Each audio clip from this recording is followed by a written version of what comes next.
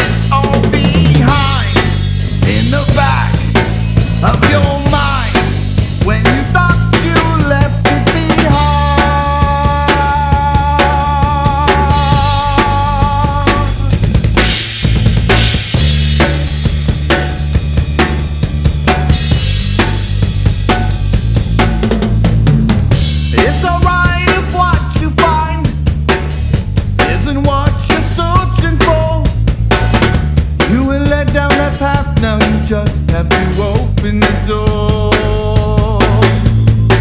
It's alright to be uncertain.